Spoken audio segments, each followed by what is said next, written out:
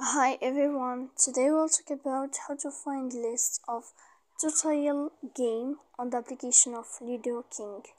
To know how to find the list of tutorial game of uh, on the application of uh, Ludo King, you should just go to the app of Ludo King as you see and you will click. After that in this page, you will click here to uh, if it's uh, this uh, and then you will click in this sign. After that you will click in this sign of tutorial game. And then here in this list you will find the tutorial game on the application of Ludo King. So please don't forget to support us by like and uh, subscribe.